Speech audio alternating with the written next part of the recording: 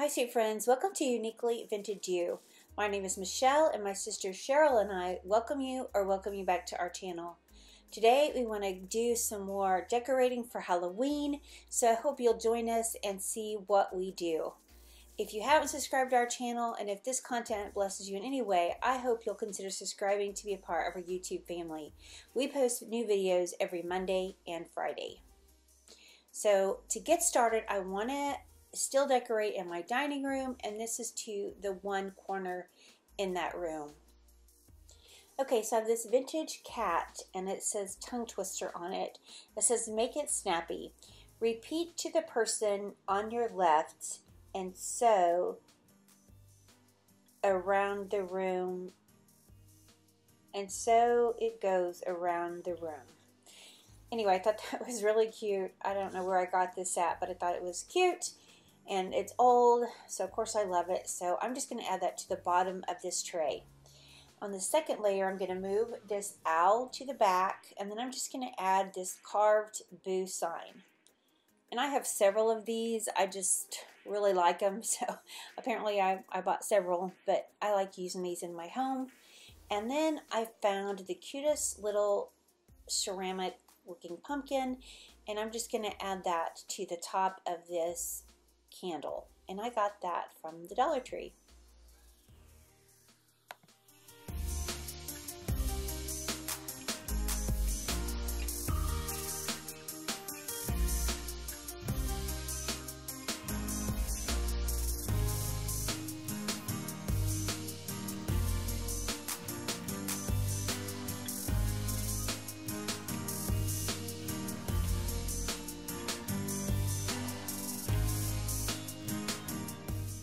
Okay, I have one of these for Christmas, but when I saw this one in orange for Halloween, I just had to have it.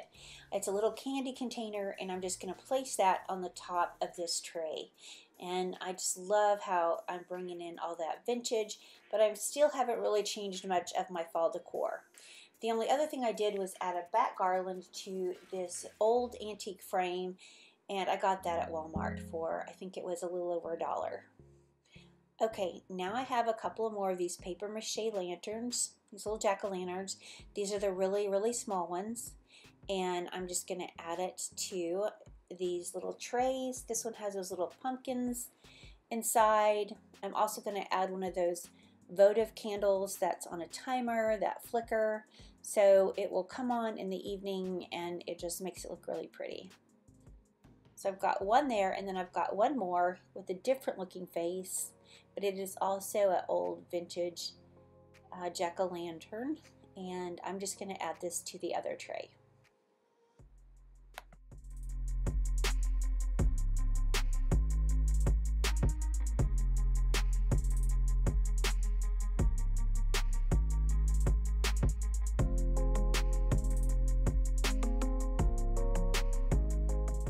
To complete this look, I'm just going to add a cloche to each one and I just love how that turned out.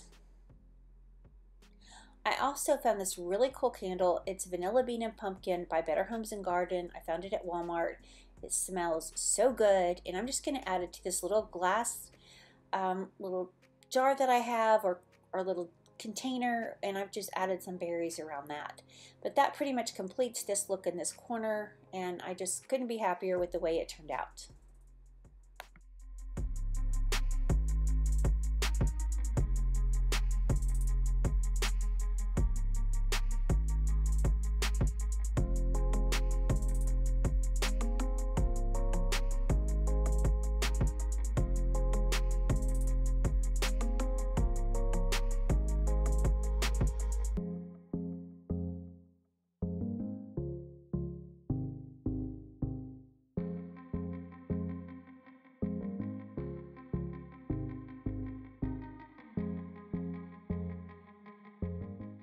Okay, moving over to my Hoosier cabinet. I have just added some old seam binding, some black velvet ribbon, and some old crepe paper into these little dishes. I like that extra element and that extra layer of texture. Moving over here, I have these old store price signs and I usually use them for photos but this time I just have paper inside and I've added the letters boo and I'm going to add each one of those I'm going to add one of those to each layer on these trays. You can see the top one is filled with a pumpkin and it has some acorns and I just really like the way that turned out.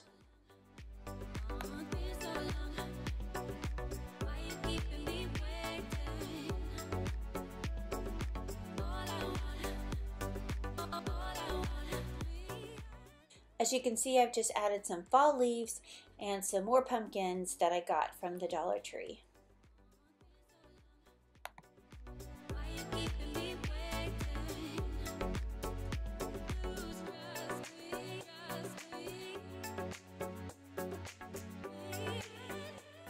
Okay, the next thing I want to do is add the cutest pumpkin hand pies. And these are faux, but they turned out so adorable. And if you stick around to the end, I'm going to show you how easy these are to DIY. So make sure you stay to the end to see that.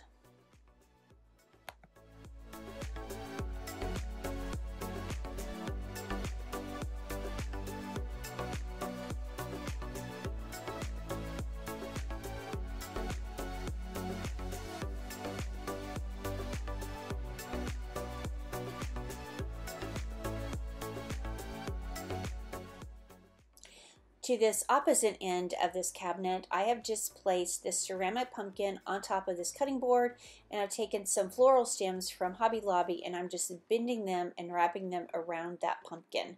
I like that extra layer and that wispiness of that. I think it just adds such a fun layer to this cutting board. Now I have these cute little pumpkin dishes they're not old, but I think the faces are so adorable. And I'm going to add that to the top of this tray in this cabinet door. And I've got one more and I'm going to add it to the other door. I believe you used to could hold like a cookbook right there, but I'm just going to put this cute little pumpkin plate. And behind that, of course, I have layered just this green boxwood wreath.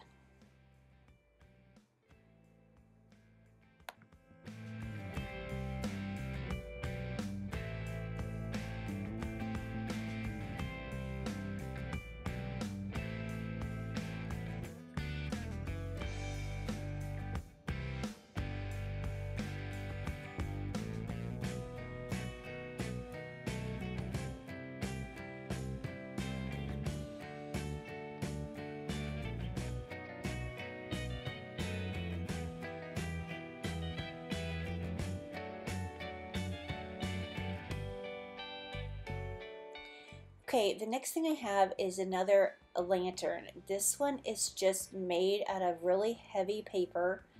It's like a cardboard paper. The face insert is a real thin paper and you can see it's in really rough condition but it's old really really old but I thought he was super cute I've had him for a long time and I'm just going to add him to the top shelf of this Hoosier I've also added in one of those little timer candles, little votive candles, so he will light up in the evening and just look so adorable. Now I have one more old cat that I want to show you right here. He's so, so cute. I love his little smile. And I'm going to add him to the bottom.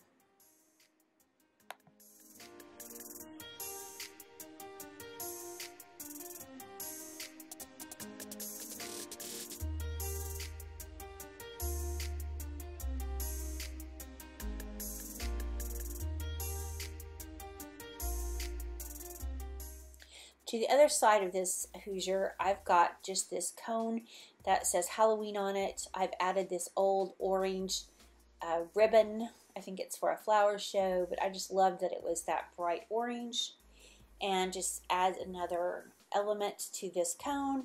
And inside this cone, I'm going to fill it with some of the things that my daughter made. I've got this old bean bag filled with beans, an old feather. I've got a really cute spider that she made out of construction paper and a pipe cleaner.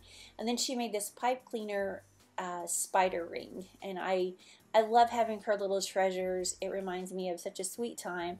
So I always place those inside this cone. But this completes the look over here on my Hoosier. And I absolutely love it. And I'm so happy with those little hand pies I made. I hope you guys will give that DIY a try.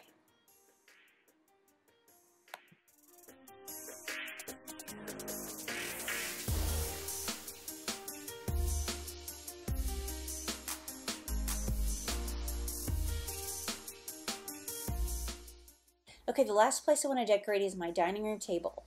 I found this adorable Johanna Parker little cup, or this little dish, and it was only $6.99 at Ross.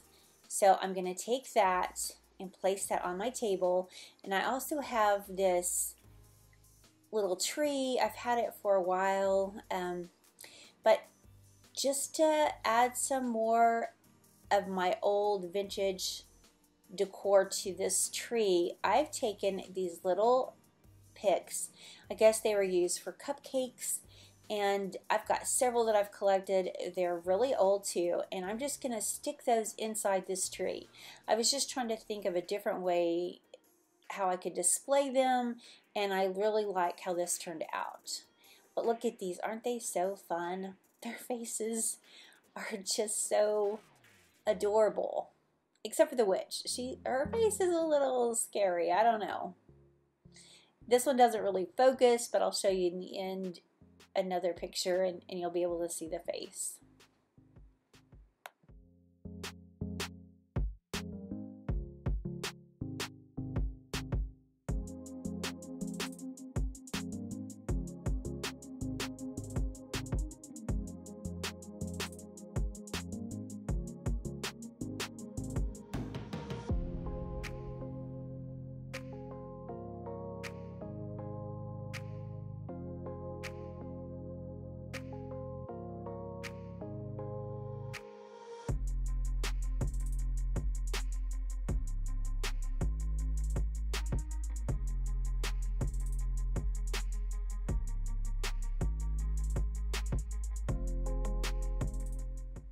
Okay, now let's just set this over here on my dining room table. And I don't want to change up my decor here. I want to, I like this fall decor and I want to keep it. I'm just going to add a little bit of Halloween since I have so much over on my buffet. So I'm going to set this here and, and kind of to tie this in, I've added an orange pumpkin to the side and inside this basket, I've just added these orange, kind of a brighter orange, um, bittersweet little berries. And I got those from Hobby Lobby and I just stuck four stems kind of all around just to bring in the bright orange of all the Halloween that I have. I think I'm just going to add one more orange pumpkin right here by this little container and that will complete the look of my dining room table.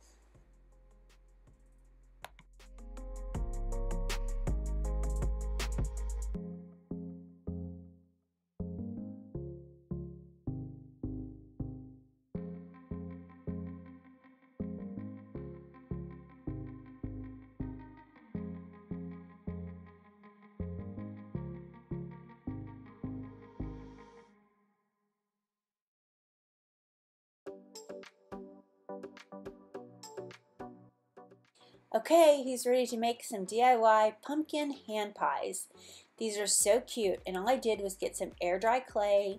I got some paint. This one I think is a little too dark. I really didn't use this one. I used this light mocha apple barrel paint that I got from Hobby Lobby. I got some glitter that kind of looks like sugar. We're to need some Mod Podge and some cinnamon. And then I just have a piece of felt and to make it look like it was baked, I just coffee stained it with coffee and sprinkled it with a little cinnamon just to make it smell good. I got these cookie cutters at Walmart and I wanted to use the biggest one I could find and that happened to be the biggest one that I could find. So I'm going to take this clay in between some parchment paper and I'm just going to roll it out. You don't want it to be too thin, but you don't want it to be super thick. And you're gonna have to cut out two of these to make this pie.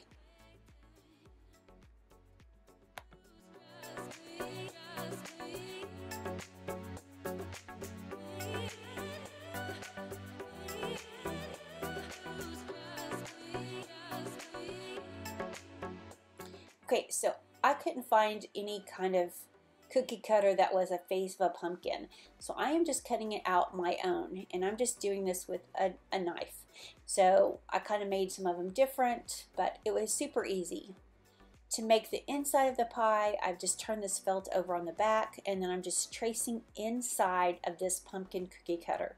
And to that, I'm actually going to cut it a little bit smaller than that because it's important that you have an edge all the way around because we're going to take a fork, as you can see right here, we're going to take a fork and go around all the edges to make it actually look like a pie.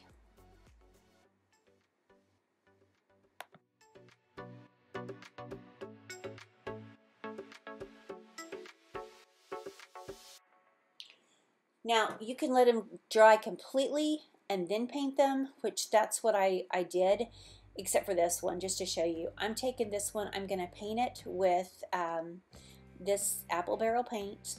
I'm to go over all of it. And um, then I'm to do is I'm just to sprinkle it with some cinnamon. I think this is optional. You don't have to do this. You can actually just um, use a little Mod Podge. I, I kind of went a little too heavy with the cinnamon but it just makes it look definitely like it's been cooked in places. It also makes them smell so good. So just brush on your um, Mod Podge and then while that is still wet, you want to go ahead and add some of this glitter. And this just kind of looks like sugar, so I'm just going to sprinkle this all over. And that's pretty much it. I think they turned out so adorable. So I hope you guys will try this, and if you do, I hope you guys will let me know in the comments below. But thank you guys so much for watching this video. We appreciate it so very much. I hope you enjoyed seeing some of the vintage Halloween that I have and how I've displayed it in my home.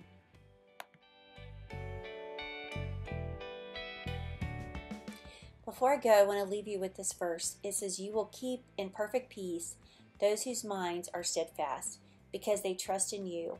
Trust in the Lord forever, for the Lord, the Lord Himself, is the rock eternal.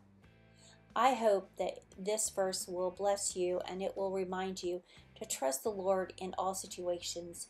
For God is in control. If we trust Him and put our faith in Him, He never fails.